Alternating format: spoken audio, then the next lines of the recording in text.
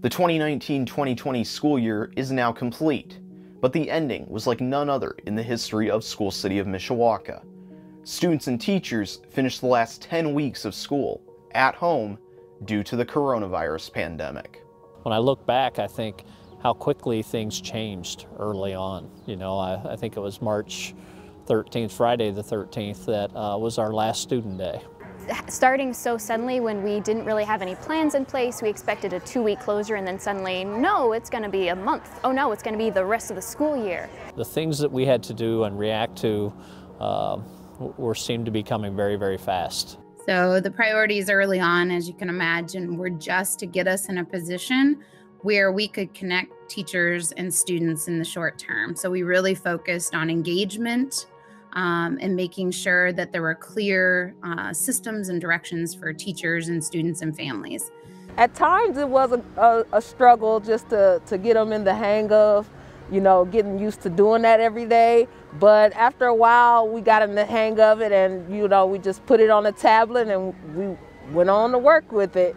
And work with it they did. Parents became partners with teachers in their child's remote learning, and teachers developed systems to meet the individual needs of their students. And suddenly having to like get on the horn with my uh, grade level team and just figure out like what will this look like? How can we work together to make sure that our kids are getting equal access to their math and reading lessons? Because let's be real, like Mishawaka doesn't have one-to-one -one devices, so that can be a boundary, and we just had to get creative with how we address those issues. Once I got into the swing of it, and okay, these are the assignments, and, and this is the homework, and this is the lessons. Uh, you, you take it for granted, but you know, being there in the classroom with the teacher right across from you, it's just a whole different feeling and a whole different understanding than staring at a computer screen. For our teachers, it was incredibly challenging for them not to be able to have access to their kids and to support them in the ways that they were used to.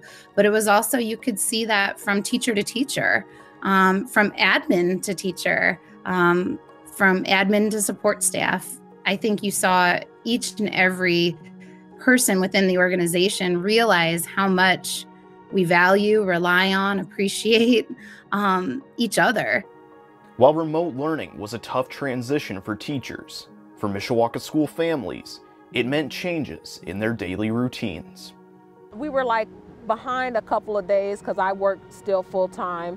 So we were kind of behind, but um, I got in touch with his teacher is Miss Cook. I got in touch with her because he's in kindergarten.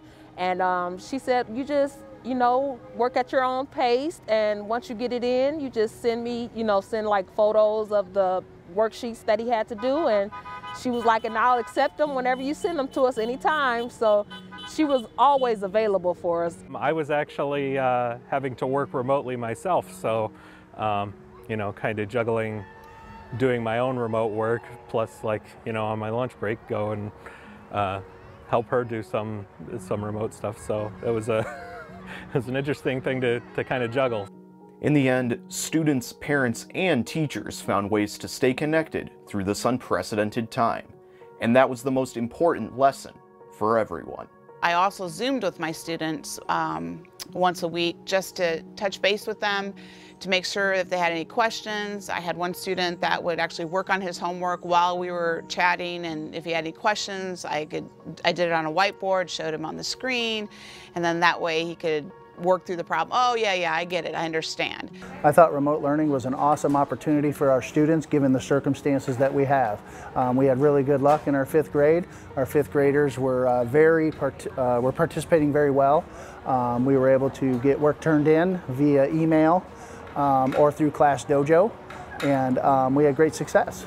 I mean, it, it was certainly a challenge, I, I tell you that, but I I know personally I had probably one of my better semesters that I've that I've ever had and it was in part due to these teachers putting in work and teachers like Miss Foley who went through the extra mile to give you the extra video or if you emailed her, you know, she went through every step of everything and my other teachers were, you know, right online to do that. So I mean, huge help for me.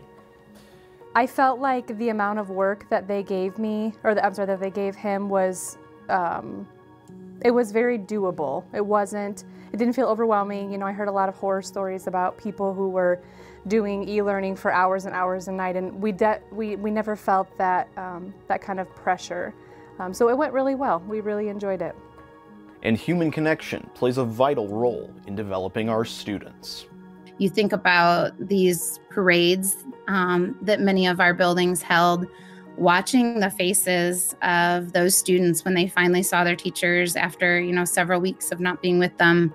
And the sheer joy on their faces is probably my favorite moment of remote learning but also watching the teacher faces you know just to know that their kids were okay and um, the love and compassion that they have for those kids and those families too i think that was kind of a theme that ran throughout all of it was that it was about the people and those relationships that we have and i would just like to thank our families you know they've given a, they put a lot of trust in us uh, to educate their students and uh, to, to be a partner to them and how they raise their own children. So uh, we don't take that lightly and, and I'm, I'm, appreciative of, of, that fact. This is a, a great community of, of uh, we, have, we have a lot of support here at School City of Mishawaka to support the children that we serve and, and for that I'm very grateful.